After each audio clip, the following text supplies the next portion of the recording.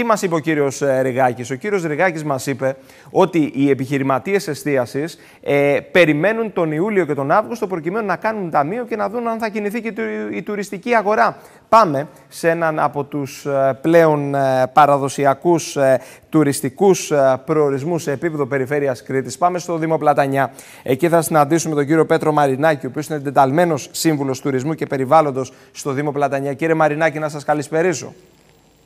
Καλησπέρα σας. Καλησπέρα σας και στους ακροατές σας. Και χρόνια πολλά να ευχηθούμε, βέβαια. Ευχαριστώ πάρα πολύ. Από την, ομάδα της, από την ομάδα της εκπομπής μας. Λοιπόν, Ευχαριστώ πάρα πολύ. Στάση αναμονής εδώ. Ακούσατε, φαντάζομαι, τον εκπρόσωπο των επιχειρηματιών σε, ναι, ναι. σε επίπεδο έτσι, ε, Ηρακλείου. Εκεί στον Πλατανιά, το σκηνικό που διαμορφώνεται, ποιο είναι; Καταρχάς, ε, θα ήθελα να πω ότι τα μέτρα αυτά που ε, ανεγγέλθηκαν σήμερα, τώρα το απόγευμα σχετικά, σήμερα, χθες δεν θυμάμαι για την εστίαση, ε, θεωρώ ότι α, είναι πρακτικά πολύ δύσκολο να εφαρμοστούν. Πάρα πολύ δύσκολο. Δεν είναι έω ανέφικτο. Κατά την άποψή μου, έτσι πώς αντιλαμβάνομαι εγώ την αγορά και επί του πρακτέου, ας πούμε, θεωρητικά έχει, έχει μια δόση ας πούμε, έτσι, ουσίας και θα μπορούσε να είναι ένα μέτρο το οποίο αν μπορούσε να εφαρμοστεί θα ήταν καλά, αλλά είναι πάρα πολύ δύσκολο. Να είναι δύσκολο βέβαια να, να αποκτήσει τον ρόλο του αστυνομικού. Ε, βέβαια, ναι, ένας ναι, επιχειρηματίας. Υπάρχει πρόβλημα, βέβαια. Μάλιστα. Υπάρχει μεγάλο πρόβλημα σε αυτό. Ε... Ό,τι έχει να κάνει σχέση, πείτε μου. Πείτε ναι, βέβαια, βέβαια, για το σκηνικό στον Πλατανιά. Ε, φεύγει ο Ιούνιος, μπαίνουμε στον Ιούλιο, μια δύσκολη σεζόν.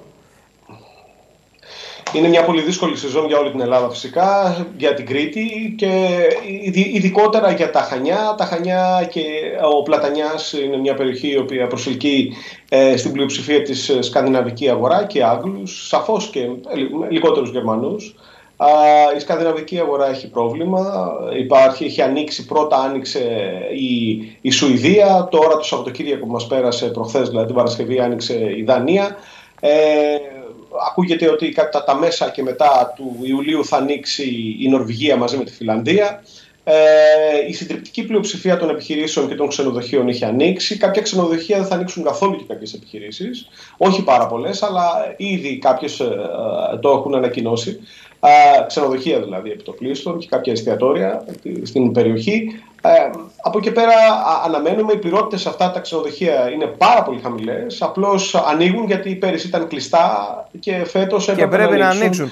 Πληρότητε σε χαμηλά επίπεδα. Προκρατήσεις φαντάζομαι. Δηλαδή, Δηλαδή, ξενοδοχείο το οποίο άνοιξε χθες, 150 δωματίων, έχει 15 δωμάτια. Για να σας δώσω έτσι μια τάξη μεγέθους. Α, είναι πολύ χαμηλό. Ε, πολύ χαμηλό. Δηλαδή πληρότητες 10, 20%, 30% δεν είναι παραπάνω η πληρότητα. Αισιοδοξούμε αυτό που ακούστηκε και πριν, ελέγχθη ότι θα πάμε καλύτερα τον Ιούλιο. Υπάρχει μια νότα αισιοδοξίας, όμως ο τουρισμός ε, και βλέπουμε και η πανδημία είναι τόσο, έχει τόσου αστάθμιτου παράγοντες που δεν γνωρίζουμε τι μπορεί να προκύψει και τι μπορεί να, να ανατρέψει όλη αυτή την αισιοδοξία, την μετρημένη αισιοδοξία που υπάρχει Κύριε τώρα. Μαρινάκη, φοβάστε μήπως στο τέλος χάσουμε και το τρένο της σύγκρισης με το 2020.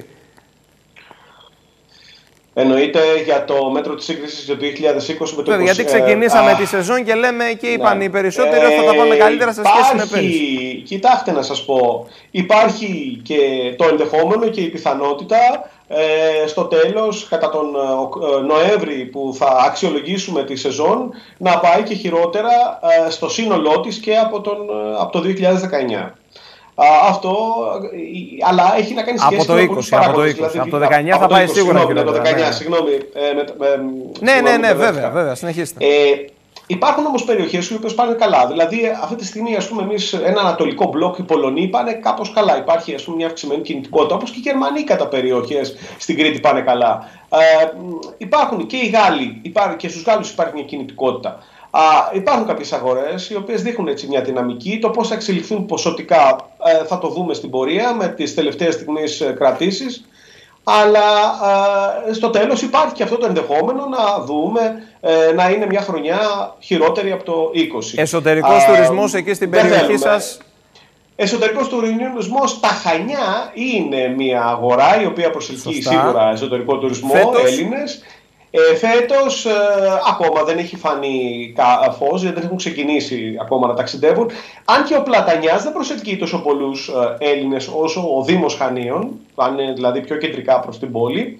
Ε, σαν Δήμος κάνουμε κάποιες κινήσεις, ήδη έχουμε καλέσει κάποιους δημοσιογράφους, καλέσαμε το προηγούμενο Σαββατοκύριακο ε, και ε, σε ένα οδηπορικό. Προσπαθούμε κι εμείς να κάνουμε ό,τι κινήσεις και ό,τι εργαλεία έχουμε για να μπορέσουμε να αναδείξουμε το πακέτο, σαν πακέτο που έχουμε ένα, ένα καλό πακέτο έτσι, ε, ε, τουριστικό στον τόπο μας και μιλάω από την παραλία, τη μεγάλη παραλία του Πλατανιά, μιλάμε για την ενδοχώρα με το πράσινο, με τον κάμπο, με τα σπεριδοειδή και τα αβοκάντο, το οποίο είναι μοναδικό και στην, σε, όλη το, σε όλη την Ελλάδα. Ε, τα, το, τον ορεινό όγκο μας που είναι το ροπέδιο του Ομαλού, το φαράγγι της Αμαριάς, που είναι είσοδος υπάγεται σε εμάς. Και άλλα πολλά συγκριτικά πλεονεκτήματα που έχει ο Δήμος μα, όπως και όλη η Κρήτη έγινε ένα πακέτο πανέμορφο και α, ε, θα πρέπει να είμαστε αισιόδοξοι για το μέλλον και αυτή η πανδημία να μας κάνει καλό έτσι ώστε ε, να δούμε τα στραβά, τα, να δούμε τα αρνητικά μας και, να, να κρατήσουμε έτσι, να, τα όποια θετικά. Ναι, βέβαια. Τα όποια θετικά. Κύριε Μαρινάκη, βέβαια, να σας ευχαριστήσω πολύ. Εγώ σας ευχαριστώ. Σας ευχαριστώ πολύ για το σχόλιο σας.